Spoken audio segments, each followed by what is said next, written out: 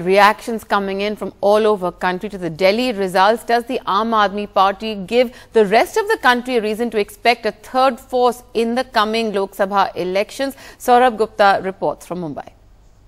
Joining me now is uh, Ruben, who was a part of that campaign. And you know, this was a stupendous debut uh, as far as elections in Delhi are concerned.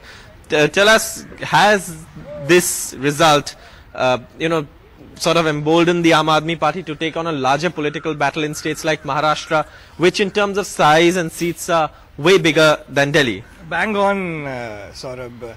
Uh, Delhi has actually bolstered all of us as regards clean politics. Uh, till date, clean politics was considered a utopia, it was considered a-practical, it was uh, just merely considered a flash in the pan and just some sporadic su- successes. But I think what Delhi has done is Delhi has really given people hope that clean politics is practicable.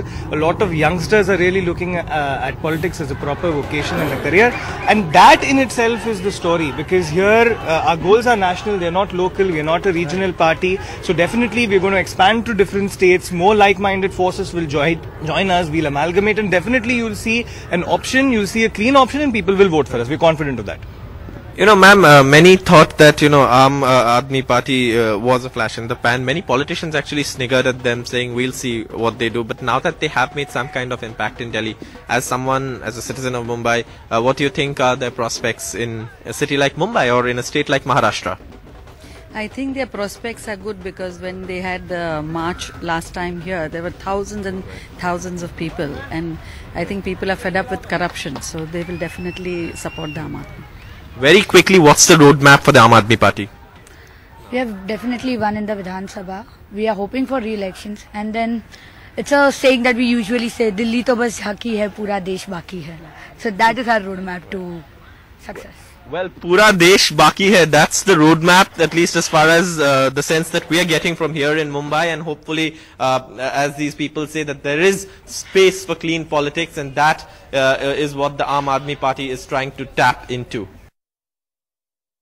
What do Chennaites think about the victory of Aam Aadmi Party in Delhi? They may not be able to form the government, but many from Chennai had actually participated in the campaigns many months ago. Chandra, you're an actor. How do you look at this? You were actually actively campaigning for them many months ago.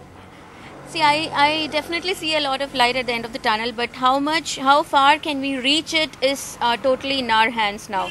Because um, they are pitched against uh, legendary uh, political parties who have been ruling India for quite a long time now. But since they have uh, got the uh, boldness and the guts to come forward and uh, you know preach uh, the the typical democratic codes that we have, you know, of the people, by the people, and for the people, now they just have to bring that into action.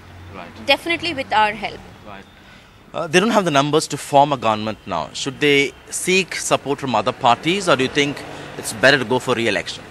It is better to go for re-elections because this is uh, the problem with our politics is basically horse trading. That is, you get somebody from there, make them come to your party and all that. It is and coalition politics politics has been the bane of our democracy in India. So these people should definitely seek re-election and prove their numbers. Right. Raji, AAP has established a transparent system of collecting funds from the common man. Make it transparent, use it for campaigning. Do you think this will work across the country now? Lok Sabha elections are coming up now. If it would, it would be it would make a kind of a healthy change to the present system and scenario.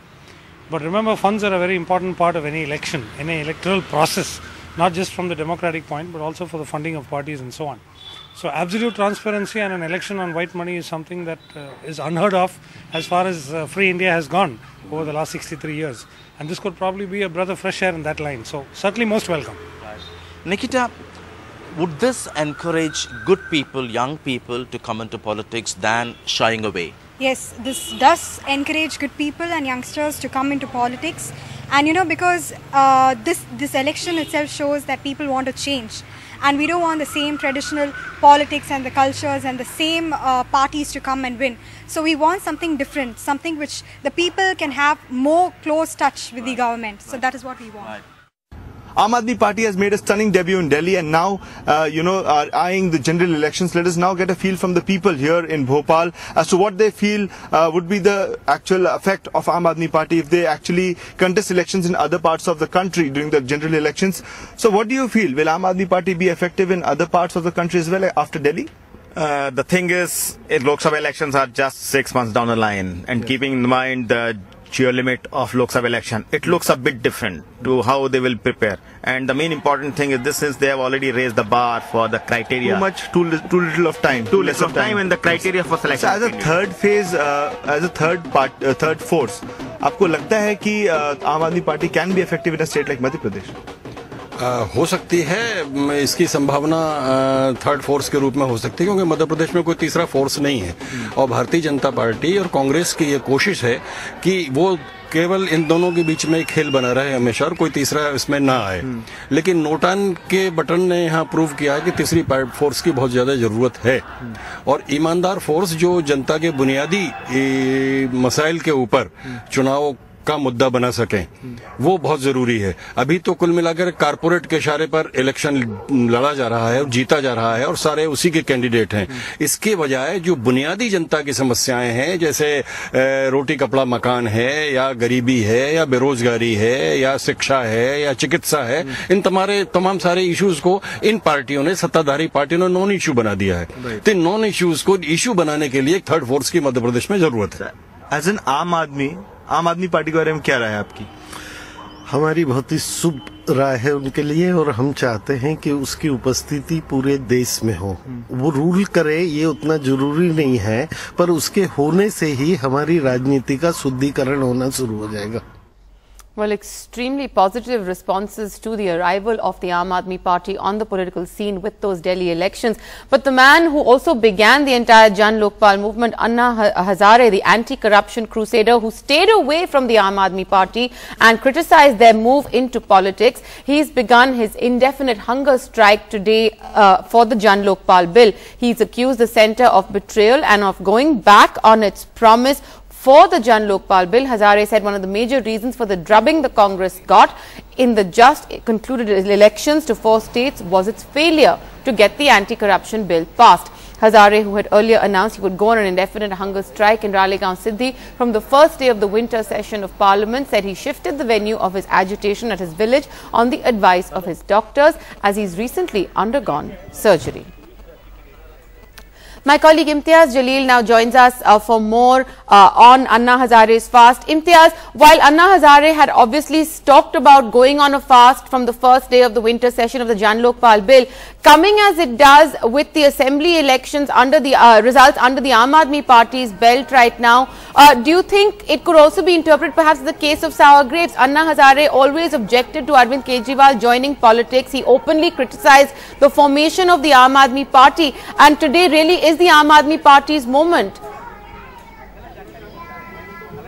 Yeah, you can look at it that way also because when we asked Anna Hazare just a short while back, are you expecting Arvind Kejriwal to come here and participate in the agitation? He said, my doors are open, there are no gates at the village and anyone and everyone can come here without naming him. So Anna, obviously what we are told is also upset with the fact that Arvind Kejriwal uh, ideally should have uh, come here. Arvind has uh, said that uh, he treats Anna Hazare as, as his guru. He is like his father figure. But Anna was expecting a courtesy call or at least Arvind Kejriwal or somebody from Arvind Kejriwal's team or from the Aam Aadmi Party come and inform uh, him.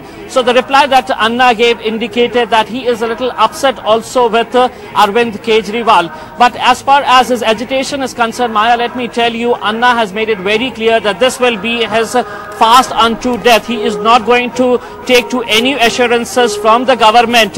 In fact, he has said that he has received in the last two years nearly 15 letters either from the PM or the PMO office assuring him that the Lokpal bill will be passed. So he said assurances he's not going to accept even if it, comes uh, from the highest authority, even if it comes from the Prime Minister. He wants the bill to be passed, but he says the government is still dilly-dallying over it and he doesn't want to blame only the government. In fact, what he has said is The opposition is equally responsible. In fact, he has named uh, uh, Arun Jaitley and uh, Sushma Swaraj as the persons who are responsible. He Right. said he has also made a CD of them and he is also going to show those CD how the people, how the political parties had assured him all along that the Lokpal bill will be passed. But for reasons best known to the government and the opposition parties, they are dilly-dallying over it. And Anna is firm that this time he's not going to fast, break his fast.